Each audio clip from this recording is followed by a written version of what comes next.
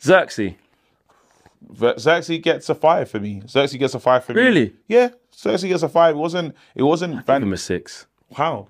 I'd give him a six because first half, like you said, it wasn't the whole first half. There were some things that bounced off him and was a little bit wasteful. Couldn't really get hold of the ball. I- I but that. second half, I think he was fine. Just the just the clinical centre nature didn't come out. I think a six is all right. because he missed them. They, they mm. live and die by the goals, bro. Centre forwards. At the end of the day, it's Man Yeah. United, bro. Not even taking the piss, but centre forwards, they they're scorers. He bro. didn't finish his chances. You didn't finish your five. chances. You didn't. You, you didn't finish your chances, and there was there was two that you can say should have been. Yeah. There's two they say should have been, and his hold up play wasn't good enough.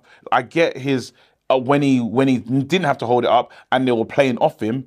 Fantastic, fine. really good. That part of his You're game talking about in that tough period where the 30 minutes. in the moment. Because it was only that 30 minutes where out. everyone was playing but shit, though. After that, he was fine. But then you need your striker. That's Got when you need them. That's when you need them. When it's getting bad for you, I can play off you and start again. But then guess what? He couldn't give us anything to keep it there. Even when I say go up and challenge for it, he wasn't doing it. If Mm. you talk about how many aerial duels that he did he win, it's probably really low. Like the stats will back that part of the game. So it's again, it's not a, an agenda against him. Mm. Love the player.